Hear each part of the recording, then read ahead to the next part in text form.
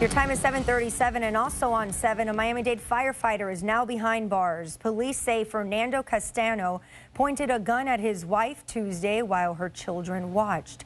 The 21-year veteran of Miami-Dade Fire Rescue is on house arrest now and has been ordered to stay away from her and their children.